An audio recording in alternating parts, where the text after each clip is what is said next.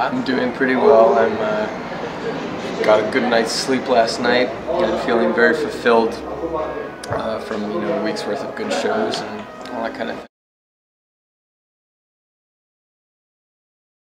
Well, we first met um, at a. Uh, we uh, Amanda and I first met at a Halloween party that she threw at this uh, at this beautiful sort of artist collective that she had moved into in the south end of Boston, and uh, a mutual friend had come to me and said, "You got to come check this place out. It's gonna be a great time." I was sort of living way up on the northern side of Boston, very sort of like cut off from the rest of the city, so actually getting down to this party was my introduction to a whole other part of the Boston kind of art and music scene. You've not been there before. yeah, I had never. I mean, I had sort of explored it on my own, you know, here and there, very naively, you know, not really quite knowing where I was going, and then having since been introduced to that section of the city and to many of those people, um, it, it, it basically just broadened my whole view and sort of scope of the city and what Boston had to offer in terms of that, and it was amazing, kind of meeting all these people that I, I didn't even consider may have existed this sort of like thriving, exciting, vibrant kind of arts community. Uh, you know, um, Amanda had invited all these different whatever poets and musicians and all. There's all this crazy stuff, and for me, I just kind of like kind of waltzed into this new magical atmosphere, and the crowning, you know, point of the evening was Amanda seated at the piano playing these songs for people. She just you know, was like, okay, ladies and gentlemen, we've reached that point in the night. And she sat down and plugged into this little like box of a speaker. And, um, and she played, I think she played like Sex Changes and Half Jack, Girl Anachronism, Caladrina, and um, Bad Habit. Yeah.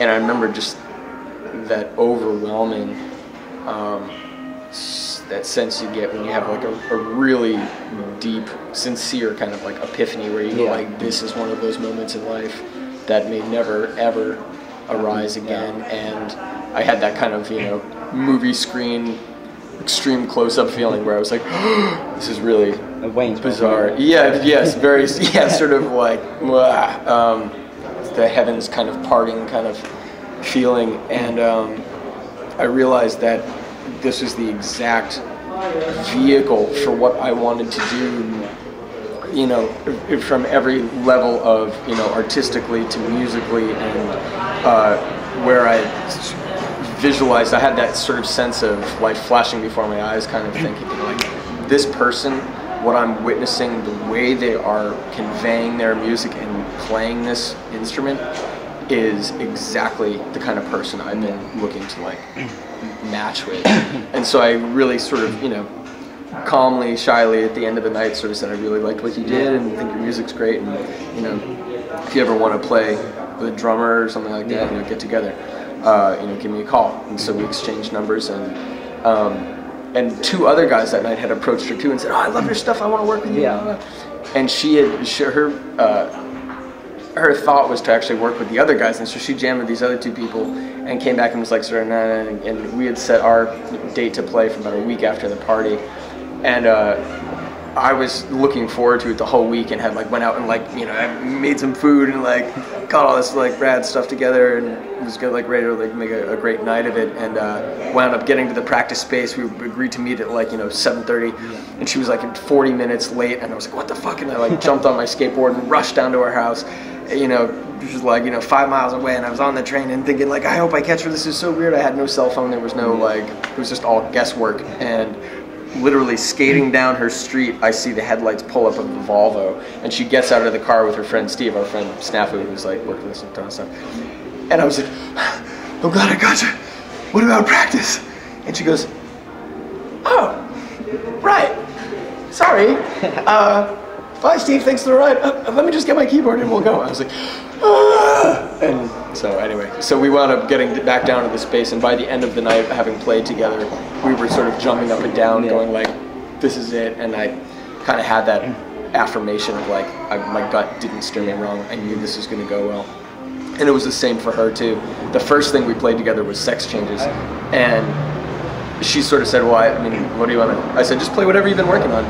Dun-dun-dun, dun-dun-dun. I just kind of listened for a minute and then started playing what came into my head. And she stopped after about uh, like 30 seconds of singing. She kind of looked up, and I said, is, is, it okay? Like, do you like what I'm doing? And she goes, Yeah, I can. I can tell like you're good, and this is gonna be okay. And I was like, All right, awesome. And then from there, we just so we both instantly knew. And then after that, it was just like a like a year and a half of this amazing honeymoon period of getting to be friends, playing music for each other. I brought my little practice drum kit over to her apartment we set up in the bedroom like facing each other and we just play for hours not even working on specific songs per se but just jamming and working out ideas and kind of developing our own language and communication and yeah, that's that's really where it all came from. Yeah certainly. I mean and it's she's i think in a different transition period now too. I always knew that I wanted to do this for a living, and Amanda did as well. But she will say, I when I was 24, I wasn't ready to make the commitment and yeah. make the jump and break away from my kind of carefree bohemian performance artist lifestyle. And I thought to myself, well, I'm not going to try to change her, but I'm also not going to wait around and waste yeah. time. There's no time to waste. I've got to get doing this. Concentrate on Yeah, basically. And so after about a year of playing together, and I, I noticed her her interest not waning, but just sort of like not uh, reaching the level and the standard of commitment that I really wanted from like a, a bandmate. I sort of said, "Hey, listen, this is cool, and go ahead and go to your your trips to wherever you're going and do your thing. That's fine, but I gotta I'm gonna join this other band." And she sort of went like, and you know, uh, that's what sparked us doing our first five song demo. Okay. She said, "Well, if you're gonna leave the band, then we have to go record everything we've done so far." And I said, okay, I'll agree to do that.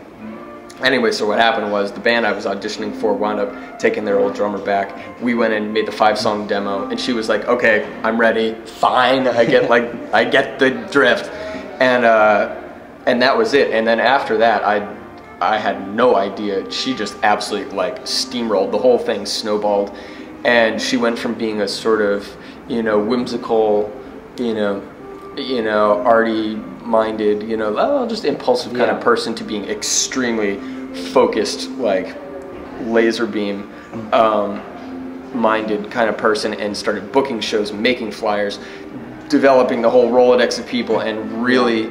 Um, you know, just kind of like blew past what I expected to see from her. Definitely, yeah. it was incredible, and really um, gave the band its its track that we began on. Because not only was she dedicated to developing the sort of visual and musical aesthetic. Yeah. She had a really strong business sense, which was a very fortunate situation. Most artists are kind of good at one thing or the other. You get these personality types.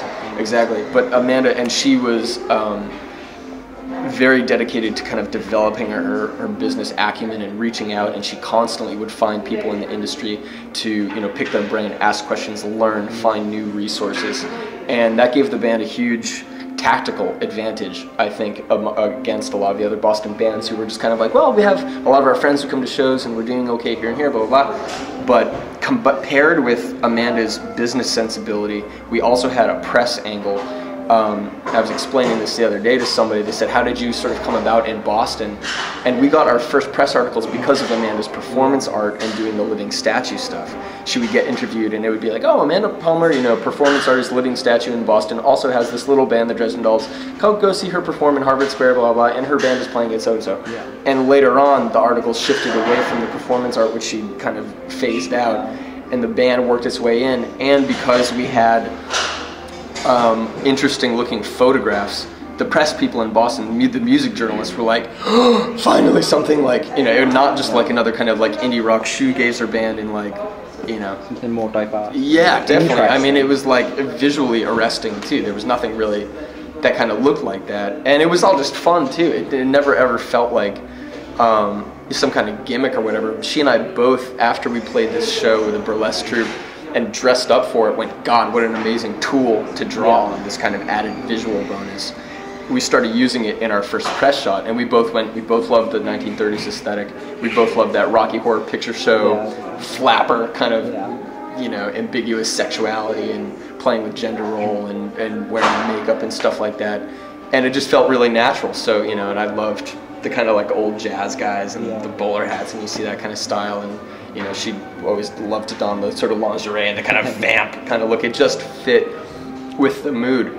Yeah. And um, and then um, drawing into Amanda's artist ties, we had an immediate collection of um, painters and photographers to help Yeah. us too. So again, it was all about pulling those resources. No, definitely not as well planned. Uh, it was a lot more minimal. I mean, we started off playing in sort of jeans and t-shirt, and then made the move to wearing a, a bit more of a costume.